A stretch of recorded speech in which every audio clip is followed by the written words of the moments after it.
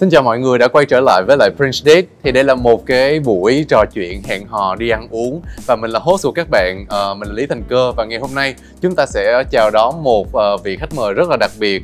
Anh là một cái người rất là nổi tiếng trong giới underground Hay còn gọi là mọi người gọi là lão đại và là một cái người dẫn dắt cho rất là nhiều những cái thế hệ rapper trẻ. À, xin chào mừng uh, mọi người đến với khách mời chúng ta là anh uh, Huawei ngày hôm nay. Xin chào cơ xin chào tất cả mọi người. Thật là vui khi mà hôm nay có thể ngồi đây cùng cơ tham dự uh, một cái bữa ăn uh, ấm cúng như vậy và còn có nước ép trái cây nữa. Thật là tuyệt vời. Hôm nay là chúng ta đang ở không gian của Yên Sushi and Sake Pub. Thì đây là một cái nơi rất là nổi tiếng về chắc chắn là sushi rồi thì anh có ăn được đồ sống không anh? Quy rất là thích sushi. À, bởi vì đây là một trong những à, món ăn văn hóa rất là đặc thù của Nhật Bản và mình cũng thích thích Nhật Bản nữa. Phong cảnh đẹp con người đẹp và rất là nhiều điều kỳ diệu ở đó. Ừ, em cũng đi Nhật 6 lần rồi. Nói chung là rất là trùng hợp tại vì uh, anh Huawei cũng thích Nhật và em uh, cũng rất là mê Nhật và mình oh. đây. Anh uh, từ nhỏ là mình đã coi uh, truyện tranh và phim hoạt hình của Nhật rất rất là nhiều và lớn lên trong cái quá trình mình làm việc đó. Những cái uh, từ anime manga nó cũng ảnh hưởng tới cái công việc của mình nữa và mình tìm hiểu mình biết cũng có rất rất là nhiều nghệ sĩ đương đại lớn trên thế giới tác động và ảnh hưởng bởi uh, manga và anime. Gọi vậy là anh là Weibo hay là otaku. Yeah. và để uh, warm up một chút xíu thì ngày hôm nay cơ sẽ có một cái uh, game nho nhỏ để hỏi về cái uh, gu ăn uống của anh Huawei nhé. Đây à. là những cái câu hỏi uh, nhanh đáp nhanh thôi. Anh chỉ có 5 giây để trả lời. Giờ cho anh một câu trước nha. Thứ kỳ lạ nhất mà anh Huawei từng ăn. Oh my god. Anh anh không nhớ. Ủa cái nó kỳ lạ quá hay sao anh? Ồ oh, uh, anh nghĩ là chắc ai cũng từng ăn qua cái món uh, cocktail phở đúng không? Cocktail phở hả? Em chưa. À em biết cái chỗ bán cái đó. Thì uh, nó là ly cocktail ừ. nhưng mà ở trong uh, có ớt, có miếng uh, hành ngò rồi em uống vô nó có vị phở. Ừ, em hình như là ở ngoài Hà Nội đúng không? Ở ngoài Hà Nội yeah. Dạ. đó là do một bạn uh, ở bên Cô Tô làm cho anh. Yeah. Dạ. Ừ. Ngoài Việt Nam thì có đặc biệt thích món ăn từ nước nào khác không?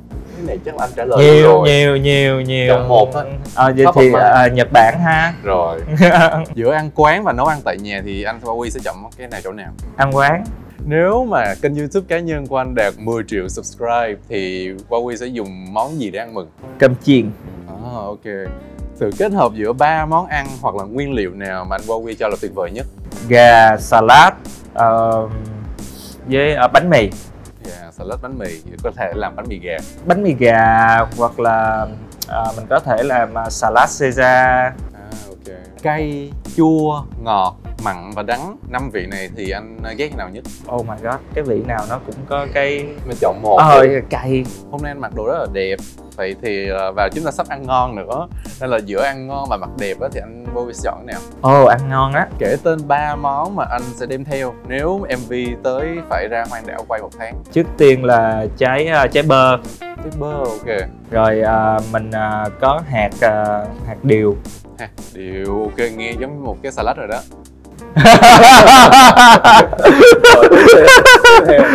bơ và thịt gà. Nguyên một tô salad.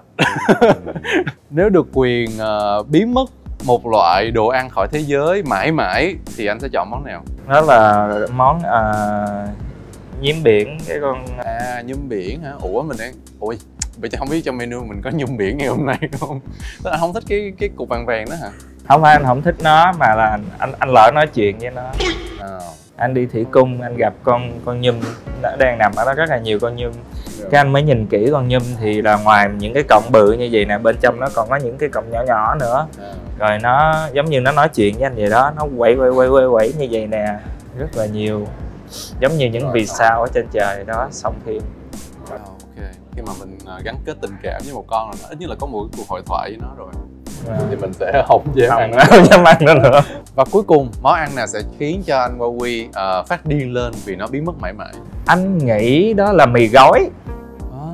Em, em biết không? Là vào thời điểm này á anh uh, đi tập uh, thể dục rồi uh, tập rất là nhiều. Ừ. huấn luyện viên nó ok mình sẽ tránh xa những cái món rồi là nó nó không đem lại protein mà mà, mà nó gây mỡ. Thì trong đó có mì gói nhưng mà không thể nào không thể nào buổi tối mình rất là thèm mì gói không hiểu là sao cứ buổi tối là mình lại thèm mì gói. Có thể 11 giờ 12 giờ 1 giờ 2 giờ 3 giờ mình vẫn lục đục ra để mình làm mì gói.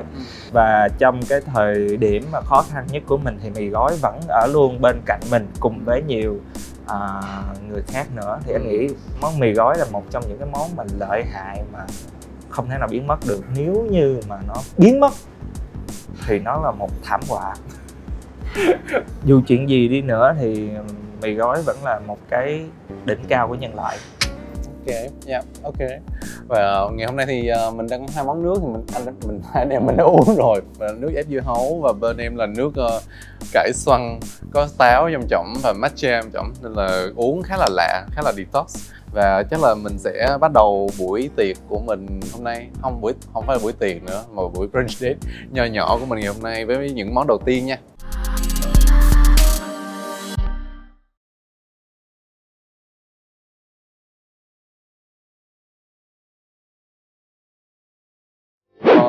Hôm nay mình có món ờ, khai vị đầu tiên đó chính là món uh, trứng hấp với lại uh, gan ngỗng uh, theo phong cách của Nhật Bản nhưng mà nó hơi fusion một chút xíu tại vì cái nguyên liệu là gan ngỗng nguyên liệu của Pháp. Rồi uh, đây là cái uh, món khai vị nữa cá hồi súp uh, cay. Yeah. à, có salad nữa nè. mời anh chắc là em sẽ ăn trứng hấp trước. Anh có ăn trứng hấp được không? À, trứng hấp là mình làm sao ta nó chỉ là bỏ trứng vô xong rồi hấp chất thủy cho nó uh, giống như pudding vậy đó nhưng mà nó là đồ mặn có đậu nè yeah. Mm. Mm. Mm. Mm.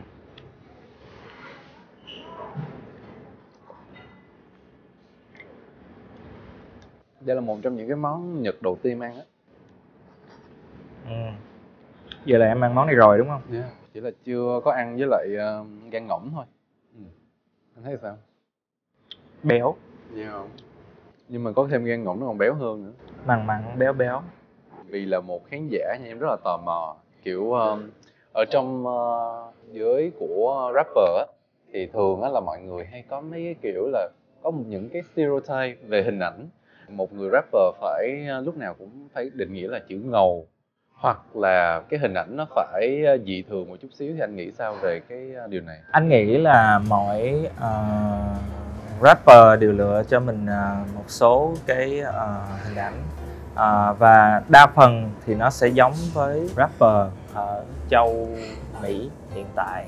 Bởi vì um, họ có cái công thức đó họ làm và họ đã thành công ừ. cho nên là các bạn trẻ Việt Nam cũng follow theo các cái hình mẫu đó rất là nhiều và nội dung cũng vậy nhưng mà khi về Việt Nam đương nhiên là nó cũng phải biến tấu để phù hợp với uh, điều kiện tại Việt Nam riêng đối với anh thì uh, anh trải qua cái thời điểm mà mình ảnh hưởng cái uh, cái hình mẫu lý tưởng đó mà anh đang trong cái giai đoạn gọi là mình khám phá thêm nhiều về cái nghệ thuật đương đại. Ừ và anh suy nghĩ có rất là nhiều cái uh, phong cách rất là hay mà mình muốn trải nghiệm. Vậy em nghĩ là cái phong cách của anh là một người đang trên con đường khám phá. Tại vì em thấy là nó không cần phải rập khuôn theo một cái chữ ngầu hay là dị thường gì hết. Vì anh có quy hồi, hồi, xưa hồi xưa anh có hồi yeah. xưa anh có. Hồi xưa là mỗi sáng lúc mà anh ờ, thức dậy anh vừa mở cửa ra nha là mặt anh nhăn vậy nè không. Là mà anh Nhan đứng dựa tường anh khoanh tay anh I'm ready for it anh sẵn sàng rất là gangster. Nhưng mà uh, nó rất là mệt em hiểu không? Là mình phải tìm cái phong cách nào mà nó khôn ngoan nó phù hợp hơn mà mà nó không kiểu giống như là tạo một cái nguồn năng lượng uh, khó chịu cho cả mình và những người xung quanh nữa. Vậy là anh đã từng ngầu rất rất ngầu vậy thì anh thấy sau khi mà một rapper thì cái chữ gọi là một nghệ sĩ giải trí nó có nó có phù hợp không à, những nghệ sĩ giải trí là người à, đem tới sự giải trí cho à, khán giả và ừ. khán thính giả yeah. Dạ. à, còn anh thì anh nghĩ là mình đang là một cái người làm cho người ta phải question làm cho người ta phải đặt câu hỏi cái người mà họ nhìn vào cái vấn đề đó họ phải question họ đặt câu hỏi tại sao vấn đề đó lại như vậy? Và anh khá thích thú với với cái chuyện đó. Ừ. Ừ. anh có dùng nước tương không? Em đổ nha. Đây. Nước tương. Ủa sao không có nước gì ta? À Brup. không có nước tương có không khí.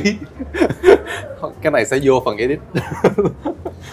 Bây giờ được nước tương rồi nè để mời anh chung một chung nước tương. Xin đa tạ. Rồi tiểu nhị đã đem tới rồi cảm ơn. Rồi mời anh ăn cái này. À. Dạ.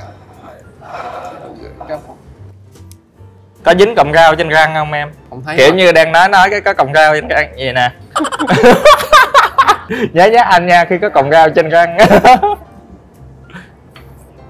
không thôi là cọng rau nó theo anh cả đời luôn. Cứ mỗi lần có chuyện gì không chụp hình me me đó ra anh Huy nói cái gì vậy?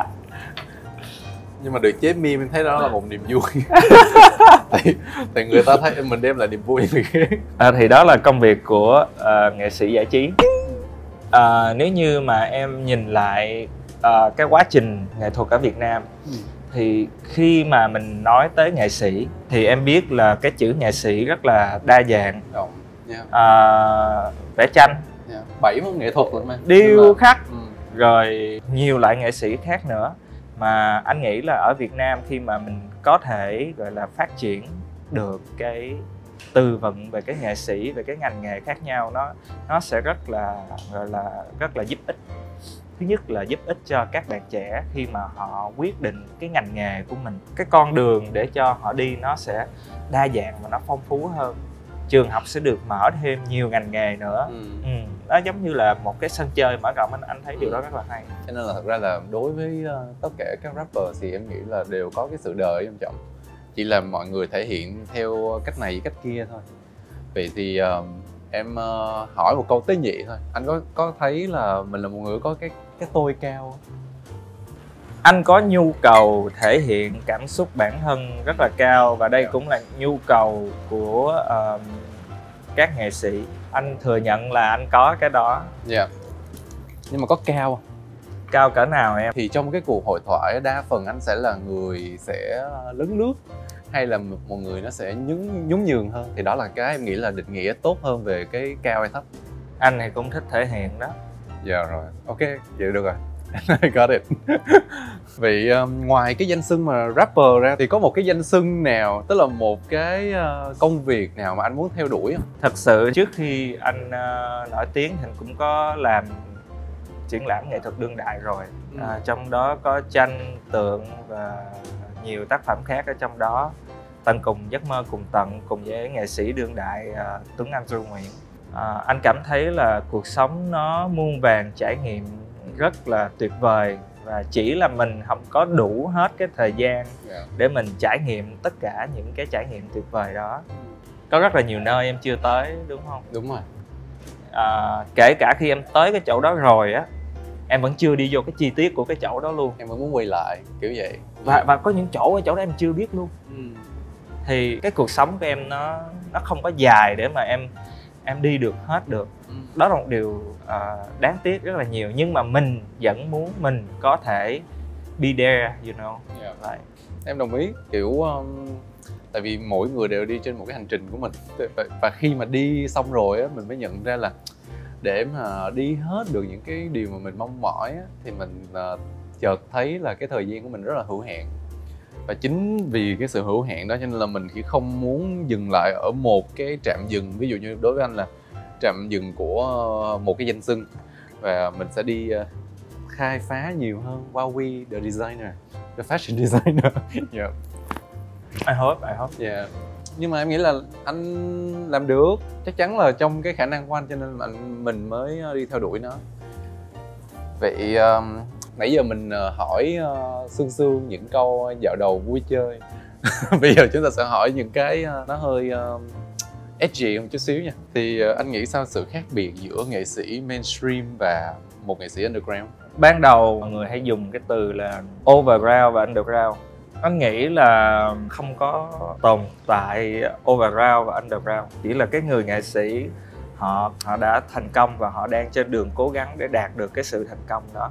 À, giống như là em à, cầm hai trái cam cái em xếp à, chất lượng xấu và chất lượng tốt. Ừm, em ví dụ anh không nói bên nào tốt bên nào xấu. Em em nghĩ là không phải là về chất lượng tại vì actually nhạc underground rất là tuyệt vời anh đồng ý yeah. cho nên là anh mới nói là không nói là bên nào tốt bên yeah. nào xấu nhưng mà cái cách grouping thì nhưng, tạo nhưng, cho cảm giác đúng nó nó ừ. làm cho người ta sẽ phân lại cái uh, cái trái cam đó ừ. vô hình chung nó phân chia cái ranh giới và đồng thời nó cũng tạo luôn cái bảng giá cho hai cái trái cam đó rồi cái trái cam nào sẽ được bán chạy hơn trái cam nào? Rồi làm sao để cái trái cam này có thể nhân giống tiếp khi mà ít người mua nó bởi vì nó mang cái mát này?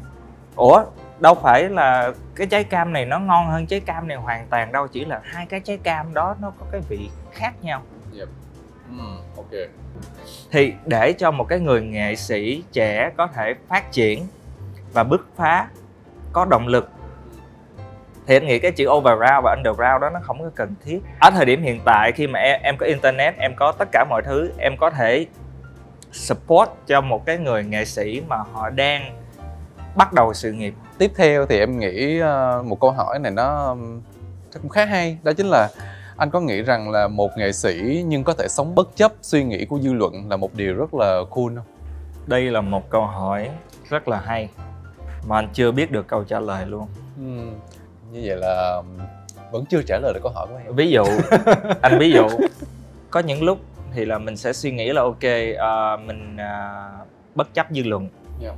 có những lúc dư luận làm cho mình suy nghĩ là ủa mình đang sai gì đó hả ta yeah. đây là một cái vấn đề mà anh nghĩ là người nghệ sĩ nào cũng gặp và họ thường bị uh, stress vì uh, những vấn đề như thế này đó là dư luận nhất là vào cái thời điểm uh, 4.0 yeah. khi mà chúng ta có thể tạo ra hàng ngàn cái account clone để hướng những cái dư luận thật sự hành động theo các cái account clone đó thì nó làm cho cái hành trình chúng ta đi nó gần như là mơ hồ hơn mình không biết là cái cái nào thật sự là dư luận ừ.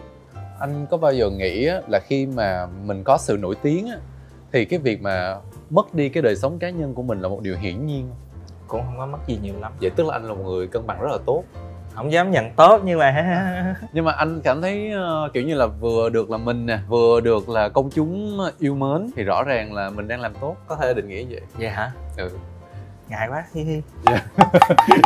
vậy là đang vậy anh có bí quyết nào không? Ví dụ đơn giản là em không phải là một người nổi quá nổi tiếng đi nhưng mà em có cái tệp fan của mình à. thì khi mà mình post cái gì đó lên hay là mình xuất hiện ở đâu đó thì mình cũng phải uh, có một cái sự dè chừng nhất định ừ, không ừ. phải là đụng vô cái gì mình cũng uh, làm được theo ý mình à. thì uh, cái bí quyết nào để mà mình cân bằng được giữa cái uh, tính cá nhân của mình và cái uh, hình ảnh trước mọi người anh không biết nhưng mà đôi khi anh có suy nghĩ giống như vậy nè thì là từ nhỏ anh đã sống trong cái môi trường là buổi sáng mình mở cửa nhà ra thì đây nè nhà tôi nè hết rồi thấy không mình cũng ngồi ăn cơm mà ở đây nè. Ơi anh anh hai anh ba anh tư đi ngang uh, vô ngồi ăn chung không? Ừ. nó ở đó hết rồi nó nó nó nó nó phơi bày rồi. Anh không có tầng hầm. Ừ. anh cũng không có uh, cái phòng riêng. Anh sáng anh cũng đi làm như mọi người. Cho nên là cái tính riêng tư mà em nói để mất đi á chính cái không gian sống đó nó làm cho mình cũng không có khác với cái công việc thường ngày của mọi người đang làm. Ừ cho máy. Nó chỉ là cái sự hỗ trợ giữa tất cả các cái cá thể với nhau và à, mọi thứ nó ngang bằng cân bằng như nhau thôi. Anh anh giải thích vậy em có em hiểu em em có ghét cái idea em đó nghĩ đó là cái uh, cái nền tảng văn hóa tại bản thân em cũng trong sống trong hẻm và từ hồi nhỏ nên là đúng là mở cửa ra thấy uh, thân thiện. Hiểu. Ừ. cũng hay yeah. chưa bao giờ em để cái góc nhìn uh, về cái sự nổi tiếng vào cái góc nhìn đó em nghĩ đó là một cái uh, nó, nó nó nó cũng nó cũng nhiều cái nó nó nó easy ha. Ừ. ví dụ như uh, khi uh, mình đi ra quán ăn thì uh, đây là một cái trải nghiệm mình ra mình ăn thì có uh, bàn bên họ nhậu họ xỉn rồi. Cái ô oh, Huawei yêu Huawei lắm coi tivi Huawei rất là nhiều. Hơn cái mọi người mới tới gần mình chào mình bắt tay mình. Và mọi người cũng hãnh diện khi mọi người làm cái chuyện đó với mình luôn. Mình hiểu được cái chuyện đó và mình cũng vui khi mọi người yêu mình nữa. Ê yes ok chụp hình. Chứ mà nói à, không được đâu tránh ra hay kêu bảo vệ ờ cho anh này tránh ra đi đi. Thì nó là một cái câu chuyện khác. Ví dụ trường hợp mình ngồi ăn ở đó cái có cái một cái bàn khác người ta ghét mình người ta lừa mình đi thì cũng nếu như mà có đánh nhau hay cái gì thì chính cái bàn mà mình mới vừa chụp hình xong sẽ cũng bảo vệ mình luôn. Bởi vì là mọi người thân thiết với mình mà ở đây mình có bạn mình biết hết mọi người mà. Chứ mà mình ồ bảo vệ cho anh này tránh ra là lát hả? Tất cả mọi người bay vô đánh mình luôn. Wow có đồ ăn mới này em. Dạ yeah, ok. Đây là món uh... đậu hũ tứ xiên theo kiểu nhật bản. Uh, yeah, được đậu làm tại việt nam. Và chúng ta sẽ ăn cùng với lại cơm với có mè ở trên. Yep. Anh có ăn cơm nhiều không? Em ăn thử coi. Ủa. nhưng mà anh ờ, cũng phải ăn hết cái rau này nè. Dạ. Ê... với con cá này nè. Nó cũng nó hy sinh gì mình đó để mình thấy gọi là mình mình cho nó tính công. Ừ. Nãy giờ em nghe á, thì cái cái cách tiếp cận mọi vấn đề của anh á khá là lạc quan thì uh, nhưng mà em biết là ở trong cuộc sống của anh là có những cái uh, biến cố và cũng như là những cái mà mình nó gai góc nó đen tối hơn một chút xíu mà mình đã đối đầu rồi thì làm sao để anh uh, có thể có một cái tinh thần nó tương đối là khác như vậy trước tiên để trả lời câu hỏi này em ơi cho anh ly trà đá ừ. thực sự khi mà mình trải qua một cái quãng thời gian mà mình phải lao động. Rất là cực lực phải không? À, và có nhiều cái rủi ro. Tại vì uh, cho tới thời điểm này mọi người sống ở trong uh, khu phố sống trong hẻm sống trong có rất là nhiều loại hẻm khác nhau và trong cái cuộc sống nó có nhiều cái hình dạng cuộc sống khác nhau. Và không phải ngày nào nó cũng là dễ dàng đối với mọi người sống trong uh, hẻm hay là khu phố. Ừ. thì trong cái quá trình mọi người đi tìm tiền mọi người đi kiếm tiền thì vô hình chung nó tạo ra mâu thuẫn của nhiều người với nhau. Yep. Thì chính cái mâu thuẫn này nó sẽ tạo nên những cái um, cái uh, vấn đề những cái uh, tệ nạn kiểu kiểu như vậy. Và anh đã trải qua một cái khoảng thời gian rất là dài để mà mình sống trong một cái môi trường mà mình thấy những cái sự việc đó nó diễn ra. Lúc đó anh còn à, trẻ đó. Dạ. thì mình thấy mọi thứ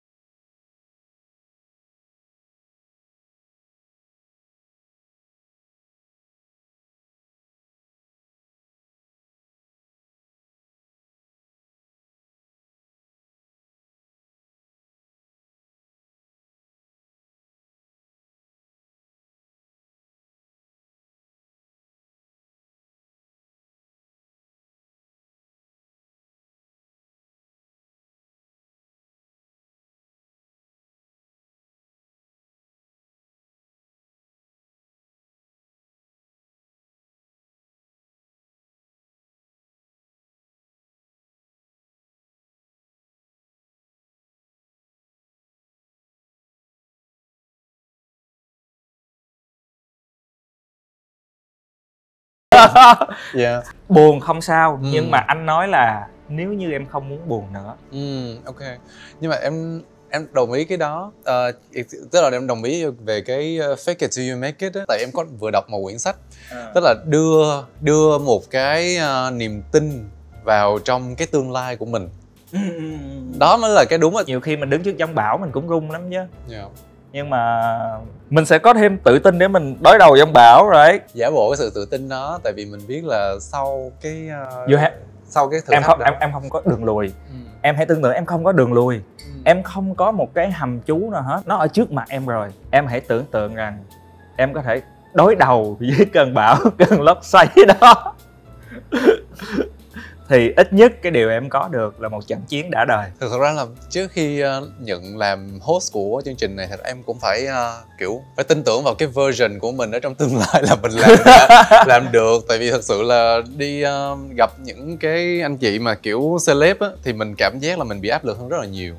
Nhưng mà luôn luôn phải tự tin vào cái uh, phiên bản của mình ở trong tương lai thì đó là một cái em nghĩ là nhé. Yeah. anyway thì uh, em nghĩ là cái thái độ tích cực giúp cho mình là collab được rất là nhiều người vậy, thì tiếp theo thì em thấy là về trong âm nhạc đặc biệt là nhạc rap thì cái tại vì actually em là fan của uh, Mariah Carey Yeah. Oh wow. Thì um, Mariah Carey là trong năm 1996 là có introduce là hát uh, nhạc Hai pop đó.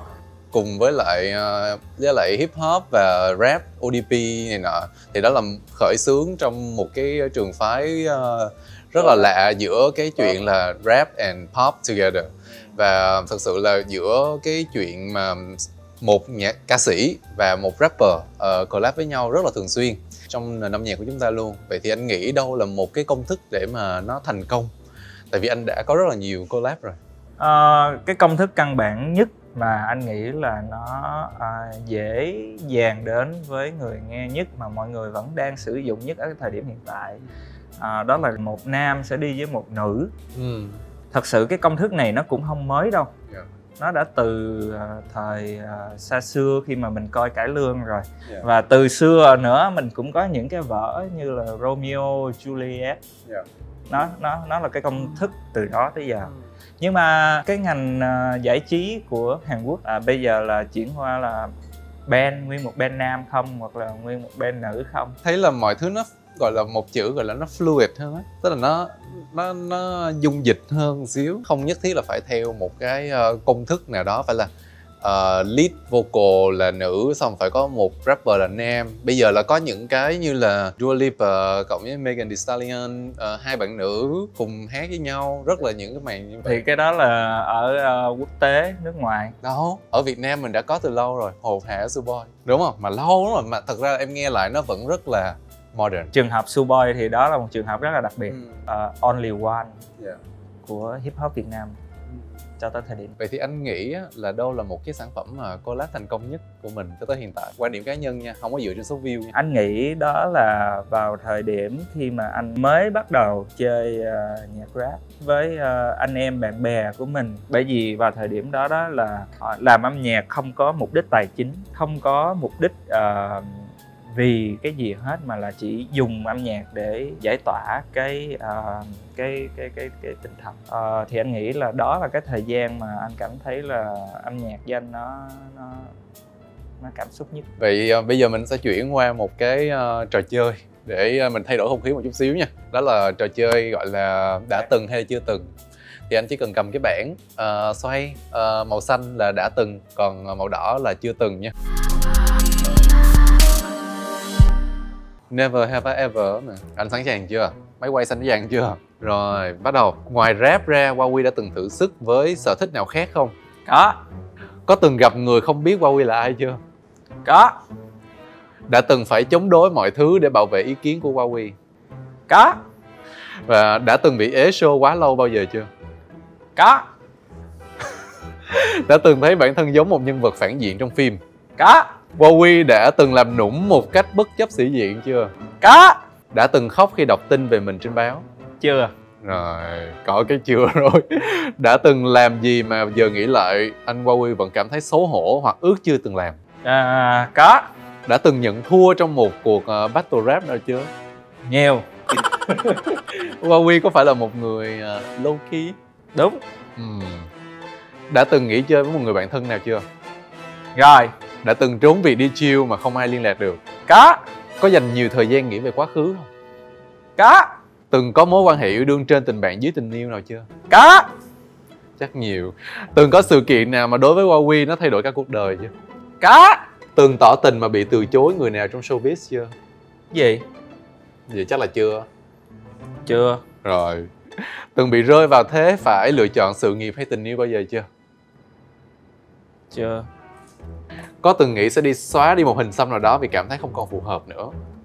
Chưa. Từng phát quạo với sự công kích của anti fan có. Uhm, ok. Nãy giờ chúng ta đã hỏi về uh, uh, âm nhạc uh, cuộc sống. Bây giờ em muốn hỏi một vài câu ngắn về uh, tình yêu. Anh cảm thấy cái game này nó gài đúng không? Thấy có nghĩa có nghĩa là cái game này á là cho người ta hả đưa ra cái hả xác minh trước xong rồi em mới đi vô chi tiết em hỏi cái làm cho người ta kiểu bị chi phối. Ừ, tôi không thể nào nói khác đi được. Bây giờ phải hỏi xem là cái mối quan hệ trên nền tảng tình yêu là cái gì. Trời ơi! Nhưng mà không tụi em uh, có những câu hỏi hoàn toàn khác. Ừ. Ừ. Ừ. vậy uh, em hỏi một chút xíu về uh, tình yêu và hôn nhân đối với anh Huawei thì anh cảm giác như thế nào về hai thứ đó? Tình yêu là cái bẫy hôn nhân là cái lòng à, mình là con chim sơn ca. Là phải ở núi rừng anh? Hả? Hay là ở trong lòng? Tùy chim. Vậy tính tới thời điểm bây giờ anh uh, bao nhiêu mối tình rồi chim sơn ca? Nhiều lắm em. Có một con số nào không? Kiểu ừ, một ngàn lẻ một đêm. Rồi. Thôi chắc là anh uh, kiểu Huawei giấu giếm mọi người á. Nên là mới nói là thật là nhiều như vậy. Đúng không? Chứ nói thật ra chắc có một hai gì đó cho nên là mới nói nhiều nhưng mà một người mà một ngàn lẻ một đêm là ok rồi. Quá tuyệt vời luôn. Chắc là đúng quá hay gì á. Đỏ mặt luôn. Do anh uống trà đá em ơi. Ủa? À, đây phải rượu đó. Trong này có phải là Long Island Ice Tea không? Rồi. Trà đá thay đổi sắc tố da. Trong tình yêu á anh uh, miêu tả mình là người như thế nào? Anh là người kèo dưới. À à ok ok. À, anh là người thuộc cung thiên bình và đàn công uh, trong cung thiên bình á, thì thường khá là thiếu quyết đoán trong khá là nhiều việc. Anh Vậy- khắc phục được cái đó rồi em. Anh đã quyết định được là mình đi ăn ở đâu? Không không cho tình yêu anh. Em không thấy chuyện đó quan trọng sao? Em thấy quan trọng. Em chưa trải qua tình yêu bao giờ à? Nhưng em thấy là 90 phần trăm đúng rồi 90 phần trăm những cái mối tình và tìm chỗ đi ăn. Ăn ở đâu? Mua cái gì? Ừm, nhưng mà anh là kèo dưới mà vậy anh có quyết định không hay là người kia quyết định? Nó sẽ bắt đầu bằng câu hỏi mà em sẽ không được trả lời. Nhưng mà em vẫn phải đưa cái tư vấn. À, em hiểu cái này, tại vì em kèo trên trong những cái mối quan hệ. Kiểu như là em thích được ờ, gợi ý Nhưng mà em kiểu không thích thì em không chọn kiểu vậy á. Em sẽ lúc nào cũng phải ờ, chi phối người ta Khiến người ta phải đi theo cái lựa chọn của mình. À, Nhưng mà người kia phải là người đưa ra lựa chọn Ừm. cái đó cho anh gọi là ném đá giấu tay đó. Ừm, yeah, yeah.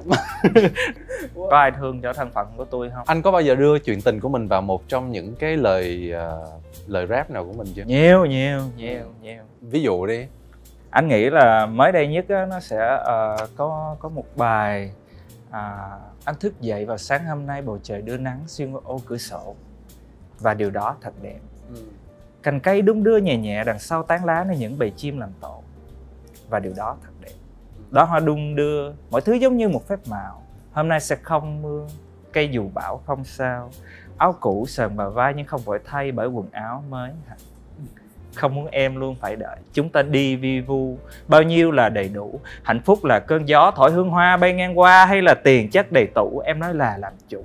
Cuộc đời và cảm xúc phải cân bằng để con tim không lặng khi lý trí trở nên căng vì con đường không bao giờ là bằng phẳng. Anh và em luôn phải thăng bằng anh luôn để cho em thắng. Đó là món quà của anh. Và chứng minh luôn cái câu kèo là rất chính xác.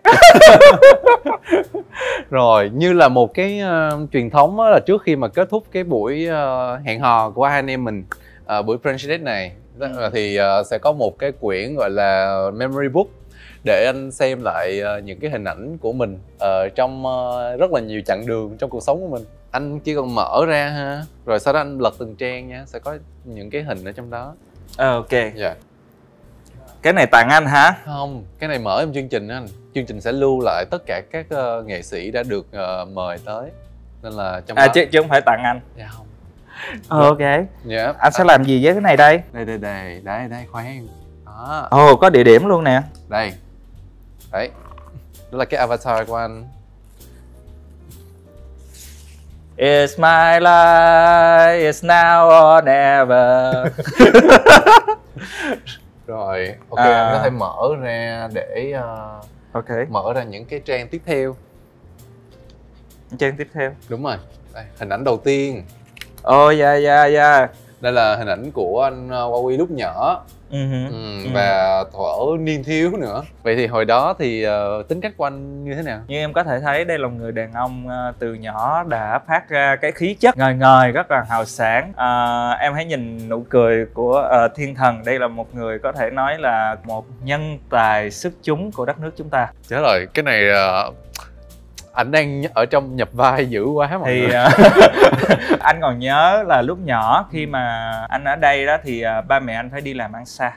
À, cho nên là anh sống chung với ờ, cậu và dì. Thì cậu và dì anh á là anh hay gọi là má bảy đó. Má bảy má hai đồ này nọ cậu năm rồi trong nhà chăm sóc anh. Thì mọi người chăm sóc anh rất là nhiều và đặc biệt là oh, sau đó má bảy anh mất sớm yeah. vì tim uh, anh còn uh, có một cái hình xăm bên tay phải của mình là số 7 để nhớ về má bảy thì bên trong có một người phụ nữ với ánh mắt luôn coi chừng mình ừ. đó nhưng mà nói về đứa nhỏ đó ha yeah. thì um, từ nhỏ nó được gọi là sống trong một cái môi trường khá là phong phú thời đó là chắc có phim tvb quá ha có rồi. Coi phim tvb rất là nhiều. Mình uh, đi uh, mua thuốc cho cậu nè. Rồi mình đi uh, dọn hàng buổi sáng. Bán tạp hóa sáng mình dọn ra tối mình dọn vô. Rồi mình bị quýnh bằng gói mây uh, ờ, à, chính điều đó đã chui rèn nên một nhân tài kiệt sức như bây giờ. Thì uh, những vết hằn xuất hiện nhưng mà mình biết đau mình biết uh, ấm ức mình biết uh, khóc. Uh, mình biết uh, đi học về không có ba mẹ đón trong khi là có những đứa khác có ba mẹ đón anh học được cách đi về nhà một mình. Anh học cách băng qua đường. Anh uh, học cách gọi là chơi trốn tìm với bạn khi mà nguyên cái sân trường nó không có ai hết. Ồ, nghe cũng hơi creepy ha. Ừ. nghe hơi creepy ha. Nghe như phim uh, Đài Loan nó phải năm sáu giờ luôn á. Ừ. oh my god. Ừ. và hình ảnh tiếp theo đó chính là hình ảnh của anh ở đâu ta tại trong... The Masked Singer. Trong The Masked Singer. Em thấy giống siêu nhân không? Uh, không em thấy giống một diễn viên hồng kông hơn tại vì uh, cái kiểu uh, biker shirt rồi uh, jeans rồi cái kiểu tóc đó kiểu gangster hồng kông. Gangster hồng kông mặc đồ vậy hả? Đối với em là vậy. Thì em thấy là trang phục của anh ở trong uh, chương trình này rất là ấn tượng á. Vậy thì uh, anh có thể uh, chia sẻ thêm về những cái cảm hứng của nó không? thực sự nha trong uh, cái quá trình anh làm việc anh cũng thấy có rất là nhiều bạn trẻ Việt Nam có tài à, về à, ngành à, thời trang và thiết kế thời trang tạo ra những cái đồ rất là độc đáo tỉ mỉ và thủ công đòi hỏi cái cái cái cái idea cái ý tưởng cực kỳ cao. À, với sức sáng tạo như vậy mà bây giờ em thử tưởng tượng đi các bạn chỉ mới đang ở trong trường thôi các bạn đang là sinh viên thiết kế thời trang chưa ra trường nữa mà các bạn làm nên những cái bộ đồ rất là độc đáo rồi. Yeah. anh nghĩ đó là một cái uh, nguồn là nhắc nhở anh về cái sự sáng tạo của tuổi trẻ một điều mà mình đã từng và mình cũng rất là cần. Và không chỉ riêng anh cho những người làm nội dung đều cần những cái mới mẻ và táo bạo như vậy. Cái thứ hai là nó cũng là một cái nguồn động viên cho các bạn về uh, thời trang và về sáng tạo. Như mọi người vẫn thấy khi mà mình uh, lên tv sẽ có uh, nhiều người nói là ồ sao nó không có thay đổi sao nó không có gì mới mẻ? Anh cũng muốn đưa vào đó một cái uh, chút gì đó mới một chút gì đó nó uh, wow lên một chút ừ, tại trong tên anh có chữ wow. Bị uh, nắm tẩy rồi. Vì trong chương trình The Masked Singer thì anh ấn tượng với lại uh, bạn trẻ giấu mặt nào? Trời ơi. Một. Chọn một. Em biết anh tính nói gì luôn không ha? tại em biết khách mời của em lắm. Ok yeah. anh uh, anh thật sự ấn tượng với bạn uh, Lady May Yeah, Lady May khá là hay cũng là một cái favorite của em. Yeah. Oh, thế à. Yeah. Thật ra anh có uh, cơ hội gặp bạn một lần ở ngoài rồi. Yeah. Ừ. Anh nghĩ là vì một cái lý do nào đó vào thời điểm đó bạn uh, bạn biết là anh sẽ ngồi ở đó. Ừ. Cho nên là lúc bạn gặp anh lần đầu tiên á, bạn trình diễn á, bạn giống nghề. Ừ. Ừ. Cho nên là khi mà bắt gặp tại trận trên sân khấu á là hả bạn làm cho anh gọi là à tôi bắt được cái ý lúc cô giấu nghề rồi nha. Tôi mới vừa tiết lộ thân phận ủa thật ra em có đâu biết đâu anh gặp ai gặp nhiều lắm mà. Thì anh mới nói ờ, cô hả? À, ừ thì Lady May là phải là cô chứ gì nữa. Anh anh không sao đâu anh anh vẫn an toàn. Anh ngô nghê quá. Ok tiếp theo hình ảnh của chúng ta tiếp theo nha. Ờ đây đây yeah. đây đây dạ, cho rồi cho mọi người xem bức hình tiếp theo nha Oh wow. Đây là hình ảnh ờ, với lại ờ, những học trò ở rap Việt. Vậy thì ờ, là một người thầy của dàn rapper sau hai mùa thì anh đánh giá là về tài năng và chuyên môn của thế hệ rapper trẻ như thế nào? Sức học hỏi của các bạn rất là cao, uh, nhanh yeah. và hiểu cái uh, công việc mà mình đang làm. Ừ. Đó thì um, rất là vui khi mà cả hai mùa uh, team Huawei uh, đều có uh, thứ hạng rất là cao. Yeah. thì uh, giấy chót thì được quán quân Black là áo quân. Vậy thì lúc mà làm ở công việc uh, huấn luyện những con quái vật người ta hay nói trên trên trên uh, rap việt như vậy thì uh, anh uh, có cảm thấy áp lực không? Thật sự áp lực cũng rất là nhiều. Tại vì mọi mọi người đặt đặt niềm tin vào mình. Tại vì đó là cái game show đầu tiên của anh đúng không mọi người đặt niềm tin vào mình các cái thí sinh khi mà họ tham gia quy thấy được là à, các bạn kiểu giống như là on in hết vào nhạc rap ừ. à, và cái góc gác của gia đình của các bạn á không phải là nằm ở cái góc gác mà có thể để cho các bạn on in vào nhạc rap như vậy ừ. yeah đó đó là một cái uh, ván bài mà kiểu get rich or die trying ừ. và mình cũng rất là cảm động với cái sự cố gắng đó và khi các các bạn về á mình đưa ra các cái chiều hướng để hoạt động để để đi đi tới đó và người ta nói là đừng có ghét người chơi mà hãy ghét cuộc chơi thì bao giờ nó cũng chỉ có một winner thôi ừ. Vậy thì sắp tới thì anh có muốn uh, collab với một cái nghệ sĩ Gen Z nào À Gen Z thì anh có hợp tác anh uh, nếu như mà em lên uh, trang uh, sắp tới sắp tới anh có muốn hợp tác với lại một nghệ sĩ mới nào không? Nghệ sĩ mới hả? Dạ. Yeah thì có anh đang cảm thấy là tiềm năng và anh muốn hợp tác cùng á để mà nâng họ lên giống như nãy với lại những cái bạn trời ơi anh nâng được cả. ai đâu em ơi anh nâng được ai đâu anh đang tập nâng tạ à anh nâng 30 kg là anh thấy hả nặng lắm rồi đó anh lật chân kế nha yeah. Dạ. đây là hình ảnh của anh Huawei và anh ờ, Karik trời ơi vậy tính tới đây là hai người đã có tình bạn bao nhiêu năm rồi từ hồi uh, anh dở trong cái, cái việc uh, cái việc mà điểm số á yeah. Dạ. cho nên là anh đoán chắc khoảng là mười uh, mười mấy năm á mười uh, mười sáu mười bảy ừ. mười tám không yeah.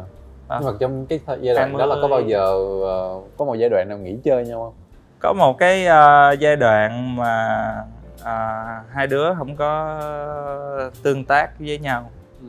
Ừ, đó là giai đoạn sau album uh, bay thật xa. Hai đứa mỗi đứa bay một phương trời. Nó cũng từ cái chuyện là rapper chất mà ra. Rồi sau đó cũng có uh, làm lành lại với nhau. Yeah. sau đó là tiếp tục đứt nữa mm. uh, rồi sau đó uh, chương trình tới. Yeah. hai đứa thành đối thủ của nhau. Cho nên là không được nói chuyện nhiều. Cũng có nói chuyện. Mm qua lấy nho lấy bánh quá trời luôn ừ. đó yeah. Dạ. rồi uh, qua kia bên kia tiếp nước thì ok đó là một kho lương thực lớn chúng ta có thể trao đổi cho nhau được rồi cảm ơn anh Bowie và thank you anh Bowie đã tới buổi Friendship ngày hôm nay cùng với mình là host của các bạn là Lý Thành Cơ và hopefully là hy vọng quá, là nói. hy vọng là hôm nay anh đã có một bữa ăn ngon cũng như là những câu chuyện uh, thú vị về uh, cuộc đời nè xong uh, tình cảm kèo dưới của anh nè đó. Đó. Bị gài kèo. ừ. và hẹn gặp lại mọi người trong những cái uh, chương trình tiếp theo với những cái French Date với những cái vị khách mời với những câu chuyện cực kỳ thú vị nha. Anh uh, Huawei ơi anh uh, chào mọi người nha Xin chào mọi người, Huawei bắt đầu ăn đây nãy giờ lo nói chuyện mà quên ăn hết trơn à. Trời ơi là trời. Chúc mọi người có một bữa ăn vui vẻ nha. Yeah. Bye bye